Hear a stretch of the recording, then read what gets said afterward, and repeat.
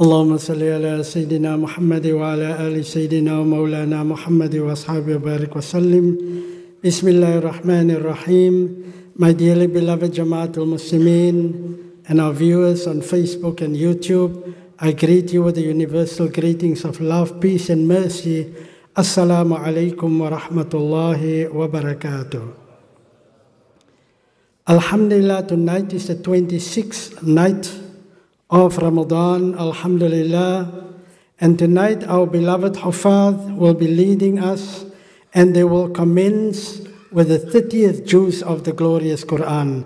The 30th juz is also the last juz of the Quran, starting with Surah Naba, where Allah starts uh, by saying, وَيَسْأَلُونَ uh, عَمَّا يَتَسَاءَلُونَ عَنِ النَّبَإِ الْعَظِيمِ now, what is so amazing, they will read 15 surahs tonight in this juz. And in every surah, Allah makes reference to the day of Qiyamah. As if Allah is showing us that I'm warning you over and over and over. Allah puts so much emphasis on this day of reality that is surely coming, that no one will be able to argue against Allah and say that they didn't know about the day of judgment. And here Allah subhanahu wa ta'ala calls this day the Naba'ul Azim, the great event or the great announcement. Now, when the Prophet made this announcement, this mighty announcement about Qiyamah, the kuffar were coming together and have their discussions amongst themselves and they ask, what is this Naba'ul Azim that this Prophet Muhammad, peace be upon him, is talking about? You know, they were quarreling and they were mocking and they were jesting. What is this day about? So Allah subhanahu wa ta'ala revealed the ayah. عما يتساءلون عن النبأ العظيم الذي هم فيه مختلفون كلا سيعلمون ثم كلا سيعلمون Allah said they quarrel amongst themselves and they mock by asking each other, What is this day that the Prophet Muhammad is talking about? Tell them, This Naba'ul Azim, this great eventful day, is that day that will definitely happen. Kalla sawfa ta'alamun. Soon they will come to know, Allah say. And most certainly, soon they will come to know. And further on, we will go into Surah An-Nazi'at, which is the second surah in this juz, where Allah starts the surah by saying, وَالنَّازِعَاتِ غَرْقًا وَالنَّاشِطَاتِ نَشْطًا now, in these two ayats, Allah speak about, about two different classes of angels, of malaika. And Allah says, وَالنَّازِعَاتِ غَرْقًا Allah say, I take a qasam by those angels that I will send to you at the time of death will take your ruh violently, with harshness. وَالنَّاشِطَاتِ نَشْطًا Allah said, also take an oath by those angels whom I will send to you, will take your ruh gently and with kindness. Where do we stand? When Malakul Maut comes, he don't come alone. He comes with his whole army, an army of angels of mercy and another army of angels of punishment and adab. Who is going to take our ruh? the angels of mercy or the angels of punishment. And further on in the surah, after Allah makes reference about our certain death, that either the angels will come to us, then Allah say, Yawma tarjafur rajifa, mankind will experience a day when the entire planet earth is going to shake, a mighty shaking, Allah say.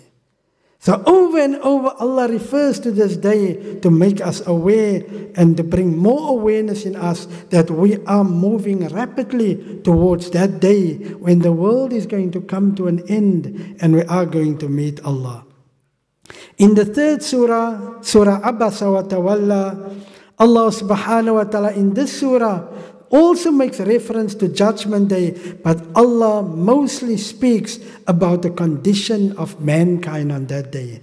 And Allah says, يَوْمَ يَفِرُّ الْمَرْءُ مِنْ أَخِيهِ وَأُمِّهِ وَأَبِيهِ وَصَاحِبَتِهِ وَبَنِيهِ لِكُلِّ مْرْءٍ مِّنْهُمْ يَوْمَئِذٍ شَأْنُ يُغْنِي Allah said, on that day, eventful day, man will run away from his father Father will run away from children. Mother will desert children. Brothers and sisters will run away from each other. Husbands and wife won't even want to look at each other. Everyone is going to be saying, Nafsi, Nafsi. What about myself? All of us are going to be concerned. We are so going to be concerned about ourselves that the Prophet say, the whole of mankind will be in a state of nakedness. Like we came into this world naked, on the day of judgment, Allah will raise us up naked.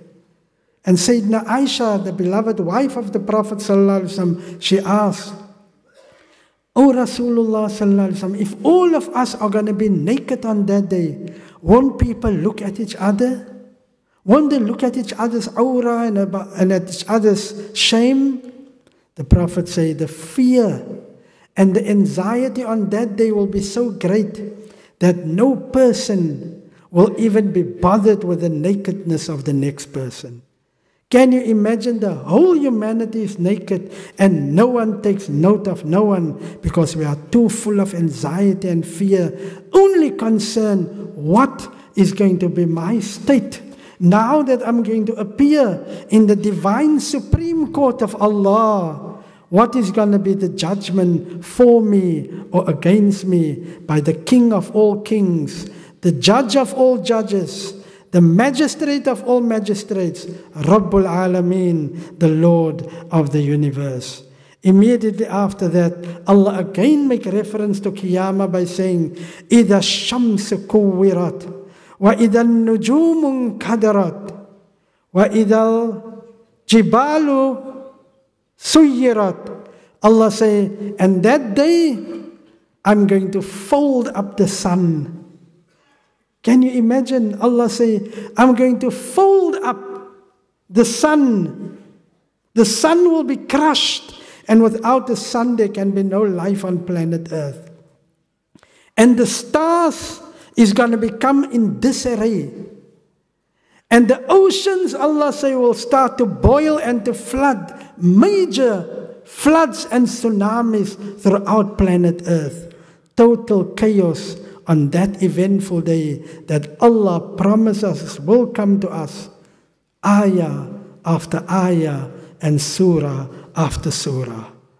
In the next verse again, Surah Infitar, the fifth surah in this juz, Allah speaks about وَإِذَا السَّمَاءُ فَطَرَتْ And there will come a time, Allah say, when the heavens that you see so perfect, it's in perfection the heavens the way Allah created it. Allah said, when you look up, you are going to see the, the heavens fall down and crumble down, and it will fall down in utter pieces. The heavens, nothing will remain. Every picture that Allah gives us in all these surahs is a picture of total chaos. Everything will be in disarray and everything will be terminated. And then imagine in all these narrations of Qiyamah, in the next surah, Wailul Mutaffifin, Allah speaks about the Mutaffifin. Who are the Mutaffifin? It is those who cheated other people in the business dealings. Those who don't weigh the scale properly. They give people less. They charge you for a kilo. They charge you for a kilo but they don't give you a kilo. Or they enter into business dealings with you, promising honesty and righteousness, but meanwhile, they stab you in the back, causing your own business to be a failure. Amongst these verses of Qiyamah, Allah speaks about these people, the cheaters, which mean there will be a great, great punishment and the displeasure of Allah will be upon them. So here Allah speaks about the fate, the fate of the believers and the disbelievers. In the next surah, Inshiqaq, Inshiqaq also mean to shatter. Allah say, وَإِذَا Allah say, وَإِذَا السَّمَاءُ انشَقَّتْ Again Allah refers to the heavens as if Allah every time tell us, take note around you. Look up what is going to happen. Allah say, إِذَا السَّمَاءُ انشَقَّتْ The heavens will be split asunder. It will split asunder by the permission of its Lord. Already Allah mentioned in other places in the Quran that because of certain utterances of people, the heavens want to split asunder. The heavens want to crash down upon us. When people say that Allah has begotten a son, that Jesus is the son of God, some of the Jews believe Uzair or Ezra, as they call him, the prophet Ezra, is the son of God. Mithraism, an ancient religion, believed that Mithra was the son of God. And so they go on. Other religions ascribe daughters to God Almighty. Allah say, What? Are you attributing children to me? I don't have a need for a mother, a father, a partner, a son or daughter. I'm one supreme being, and I alone, and I alone created the heavens and the earth and whatever exists. So Allah said, just by that, it's like swearing against Allah. Swearing against Allah. And that words that people say are so, are so vicious and so abominable that the heavens is ready to split asunder. But Allah, through His will, still keep it intact. But there will come a time when Allah give permission to the skies and the sky will split asunder and it will come crashing down. Then Allah speaks about Surah Al-Buruj. And Allah subhanahu wa ta'ala in Surah Al-Buruj speak about another grievous action that is taking place, especially in modern society today. Allah refers to abortion, where babies are being aborted because of promiscuous lives. Young girls falling pregnant outside of marriage. Young girls of 13, 14, 15. Their parents are not even aware. Wallahi, I'm standing here in the masjid. Allah is my witness. I was phoned at times to the hospitals to come and counsel young ladies who just lost their child. But they didn't lose their child, the child was aborted. And at one stage, as I came in, the young girl sitting on the bed, I'm looking for a young lady whom I must counsel and probably comfort and whose parents I must contact. When I came in, no greeting, she just told me, There's it. There's it a child, a living human being that was in a blessed womb, whom Allah gave life, but she chose to kill a defenseless baby in a womb and made a womb into a tomb. And your womb is supposed to be the most safest place for a baby. How many girls fall pregnant today, and wallahi, their parents are not even aware that they are pregnant.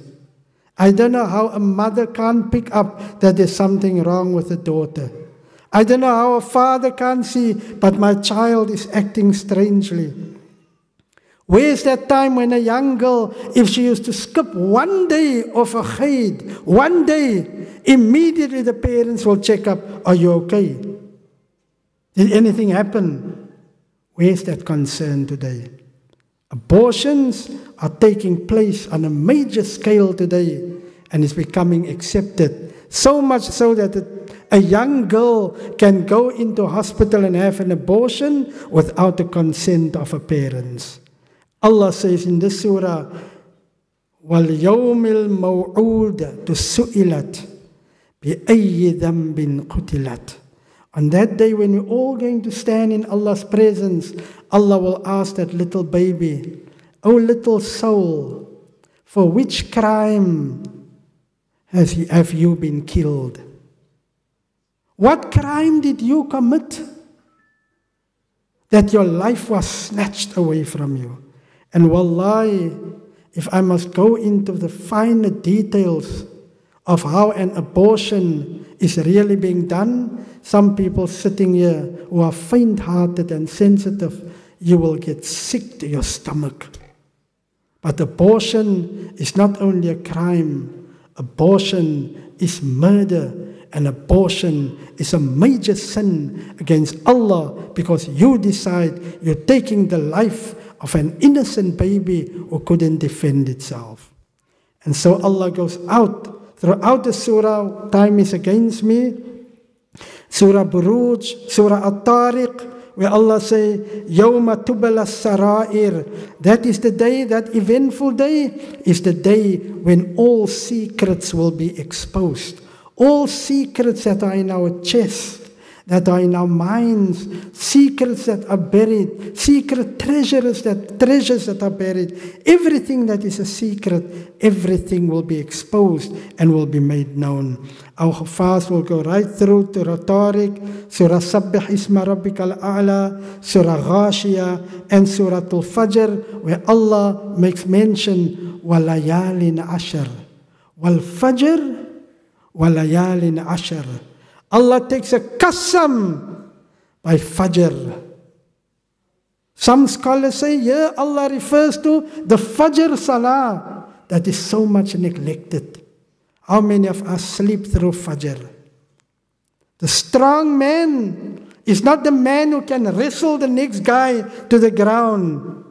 A strong man or a strong woman is that person. You have so much strength say Bismillah and you lift that blanket and you stand up from your warm bed for Allah, love for Allah, and for the pleasure of Allah.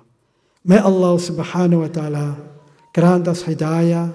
May Allah grant us understanding. So even if you can't remember everything that I've said, in fact, I only came halfway, but time is really not at my disposal. But as long as we stand in our Taraweeh tonight and just stand with the idea that Allah is speaking to me, Allah is speaking to you, to every one of us. Allah is speaking to our heart, and Allah tells us in no uncertain terms take note, judgment is coming. You are going to stand in my presence. May Allah make us all of the muttaqeen and may Allah make us successful on the day of judgment. Ameen ya Rabbil Alameen. Walhamdulillahi Rabbil Alameen.